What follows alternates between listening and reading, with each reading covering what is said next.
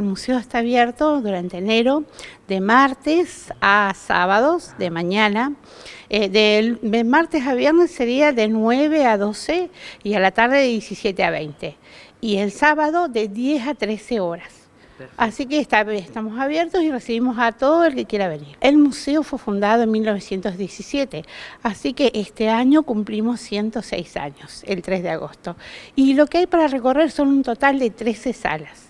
Tenemos salas eh, diversas de historia, geología, vertebrados, invertebrados, paleontología, antropología, así que son 13 salas para recorrer detenidamente y también eh, si tienen alguna pregunta, yo estoy de mañana, así que les voy a explicar todos los temas que pueden llegar a tener dificultad o quieran saber un poquito más. En este tiempo que hemos estado abiertos en enero, han venido muchas mamás, eh, papás, abuelas con sus hijos, sus nietos y siempre los niños son los que traen a los adultos. Esto es un museo, es de todos de alguna forma y lo tenemos al alcance de nuestra mano porque no hay que pagar nada para venir, ¿no? No, no, la entrada es gratuita. Sí se pide una colaboración que es un bono contribución.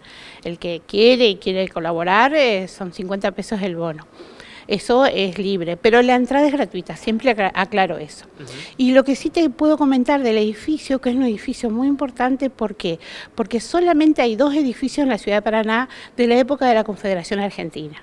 El más conocido es el Colegio del Huerto al lado de la catedral, que era el Senado de la Confederación. Y este edificio fue construido para una escuela, la primera escuela de Paraná.